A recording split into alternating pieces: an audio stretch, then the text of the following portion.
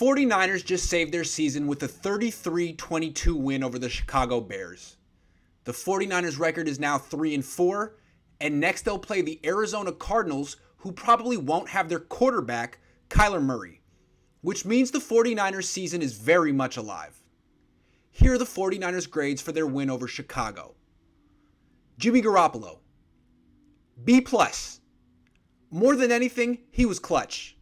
The 49ers season was on the line and so was his job, so he needed to play well against a bad team missing its best player, pass rusher Khalil Mack.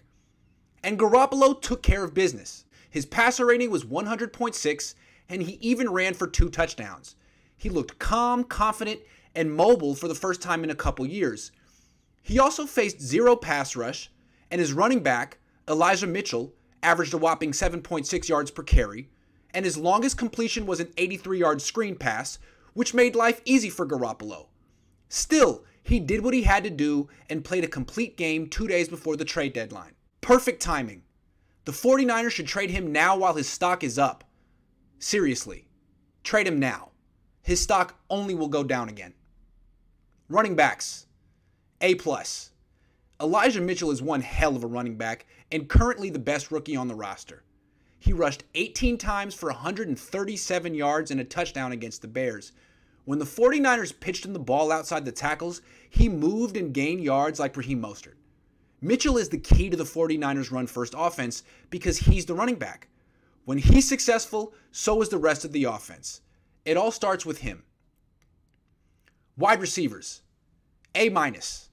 While Mitchell unlocks the 49ers offense, Samuel is its best player by far.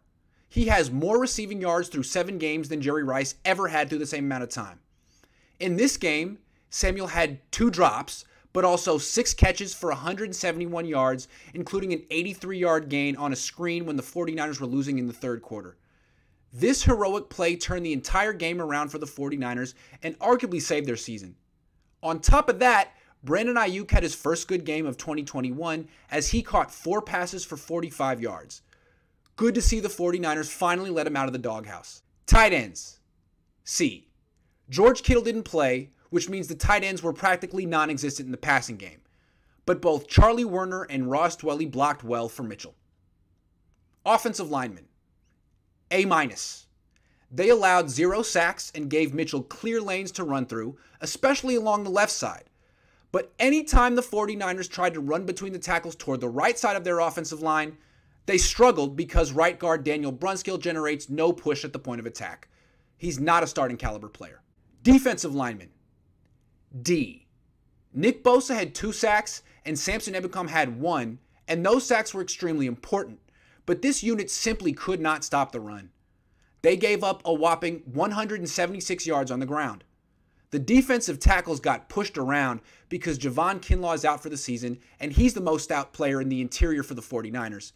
And the 49ers absolutely could not contain rookie quarterback Justin Fields, who ran 10 times for 103 yards and one touchdown.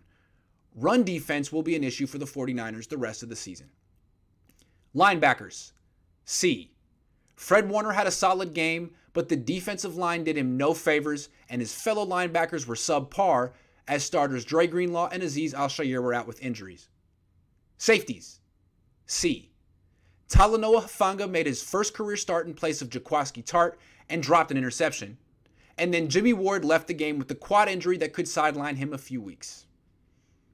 Cornerbacks. C. Josh Norman committed a holding penalty, but atoned for his mistake by intercepting Fields in the fourth quarter. Emmanuel Moseley played soft coverage all game and got beaten by nobodies. Special teams. C minus. Backup kicker Joey Slye missed an extra point and a field goal wide right. You'd think he would have adjusted and aimed a little bit more to his left. At least he missed only two kicks. Coaches, B plus. The defense struggled most of the game against one of the worst offenses in the NFL, which isn't good. DeMeco Ryan seemed thrown off by the Bears not having their head coach, Matt Nagy.